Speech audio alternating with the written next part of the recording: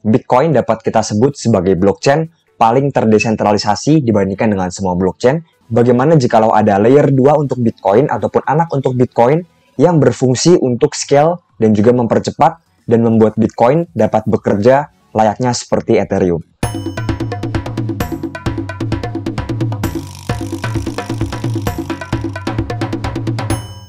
Halo semua, selamat datang di channel Pace Crypto. Hari ini saya akan membahas tentang Nervos Network, project yang belakangan ini naik sekitar 10x. Bukan berarti saya baru bahas sekarang, saya sudah bahas dari cukup lama, market cap 100 juta. Nah, sekarang kita akan membahas kawan-kawan ini merupakan project yang sangat luar biasa bagi saya karena belakangan ini dia melakukan shifting ataupun perpindahan dari layer 1 mirip seperti Cardano sekarang dia menuju Bitcoin layer 2 yang saya menganggap ini merupakan layer 2 terbaik bagi Bitcoin. Mari kita masuk ke dalam pembahasannya.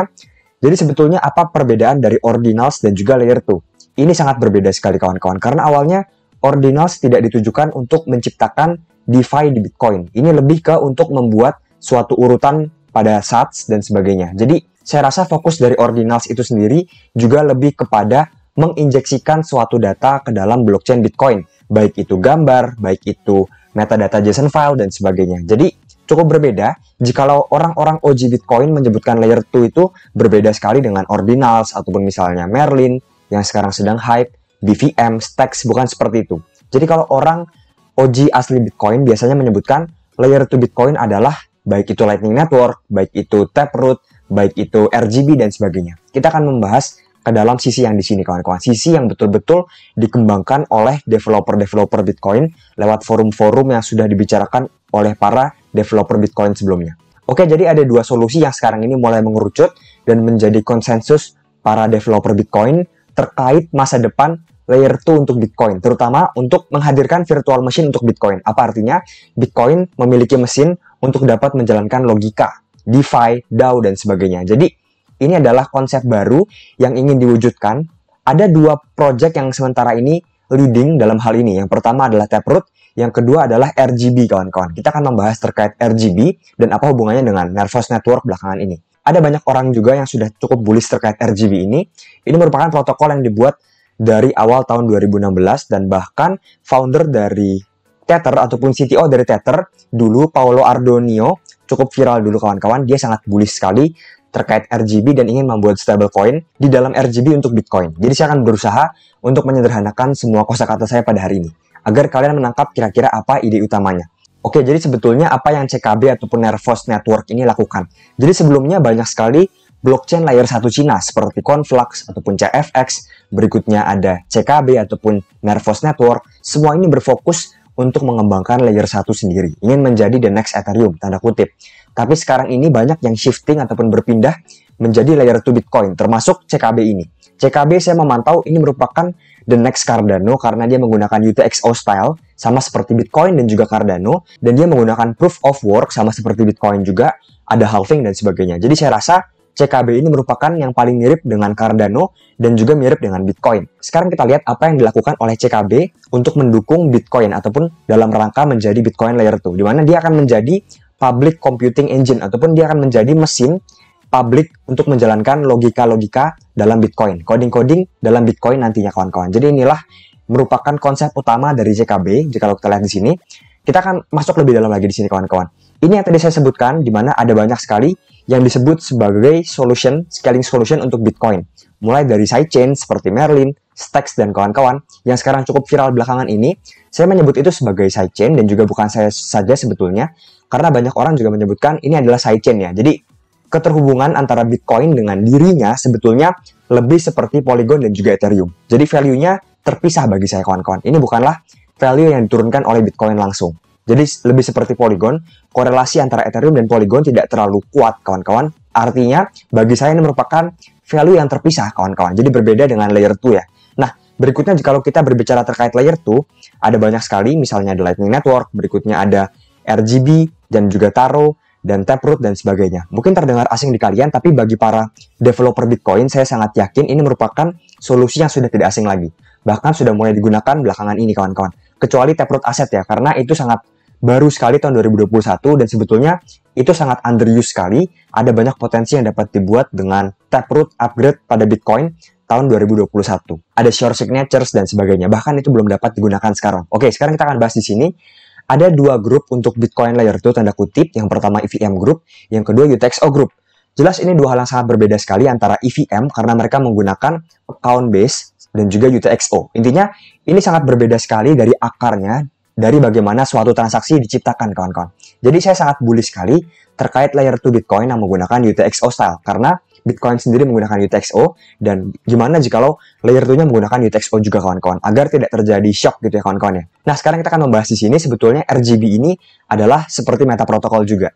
Ada aset di dalamnya. Tapi bedanya jika lo ordinal sekarang asetnya terpaut pada tiap SATS. Sedangkan RGB terpaut pada UTXO. Mungkin dapat kita sebut mirip seperti Pipe dan juga Runes secara konsep yang ini.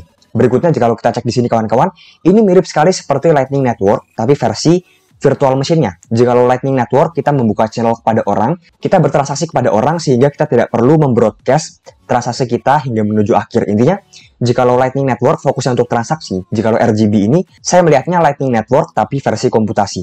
Artinya komputasi dijalankan secara off-chain, tetapi kita lihat di sini di mana terkadang mereka harus mengupload tanda kutip kira-kira off-chain computation tersebut dalam bentuk hash ke dalam blockchain utama Bitcoin dengan menggunakan fungsi OP return. Artinya mereka seperti mengupload bloop jikalau Arbitrum mengupload bloop kepada Ethereum dan sebagainya. Ini juga sama kawan-kawan. RGB seperti mengupload hash off-chain computation tersebut kepada Bitcoin. Jadi ini adalah hubungan yang sangat sedarah banget. Ibaratnya inilah yang dinamakan layer 2 Bitcoin kawan-kawan. Dengan adanya RGB++ ataupun ini buatan CKB Nervos Network, jika RGB sudah dibuat dari tahun 2016, CKB membuat suatu protokol yang bernama RGB++ ini merupakan evolusi lebih lanjut dari RGB yang cukup advance bagi saya di mana yang pertama di sini nantinya setiap aset yang berputar dalam Bitcoin dapat terdeteksi bayangannya pada CKB. Berikutnya kita cek di sini kawan-kawan, di mana untuk off-chain client-side validation ataupun jika lo pada Ethereum semua smart contract, semua eksekusi smart contract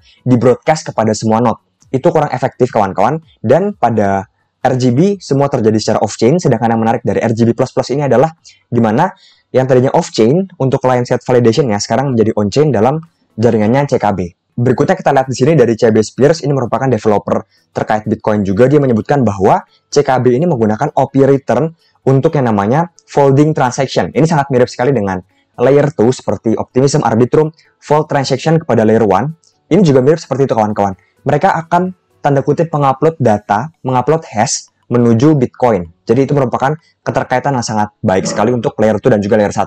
Oke, ada beberapa perumpamaan lagi yang membuat kalian memiliki bayangan terkait sebetulnya apa yang dilakukan oleh CKB ini kepada layer 2 Bitcoin. Jadi kita lihat di sini kawan-kawan di mana nantinya RJB ini dapat memiliki seperti mapping system di mana dapat mengsinkronisasi aset di layer 1 Bitcoin ataupun pada Bitcoin langsung dan juga tanda kutip mengsinkronisasinya pada CKB. Berikutnya di sini orang ini mengatakan bahwa jika lo ordinals telah membuat inovasi dalam menciptakan tipe aset baru, RJB ini akan menjadi tipe baru dalam hal distribusi aset-aset di ordinals kawan-kawan. Jadi ini merupakan perumpamaannya. Berikutnya yang terakhir di sini sama juga kawan-kawan di mana nantinya aset-aset pada RGB++ protokol akan secara dinamis tersinkronisasi pada dua hal. Yang pertama pada mainnet Bitcoin, pada Bitcoin layer 1 dan juga layer 2 dan juga diamankan oleh konsensus dari Bitcoin. Artinya, ini merupakan konsep baru dari layer 2 Bitcoin, saya sangat bullish sekali. Berikutnya, jika kita pantau developmentnya, apa yang mereka lakukan sekarang, mereka sudah membuat wallet dan juga marketplace untuk memperjualbelikan aset-aset RGB yang mereka buat bernama joy.id di sini kawan-kawan di mana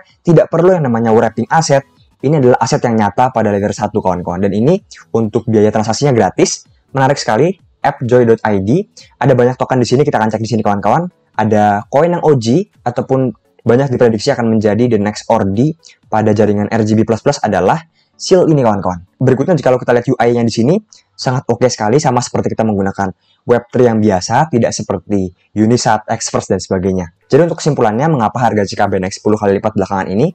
Karena dia menyajikan suatu inovasi yang super baru, jenis pembukaan likuiditas yang super baru sekali kawan-kawan. Dan kita lihat di sini Nantinya future of BTC scaling adalah kita bisa trading runes, atomical, stem, taproot asset, dan juga semua meta protokol pada CKB dengan 0 gas fee dan juga fee-nya 0 kawan-kawan. Berikutnya tidak perlu bridge ataupun multi-sig wallet, di mana saya kurang suka hal tersebut sekarang, di mana sangat rawan terkait hack dan sebagainya, dan juga tidak perlu namanya centralized indexer yang sekarang masih terjadi hingga sekarang pada semua meta protokol Bitcoin. Sekian dari saya, semoga bermanfaat.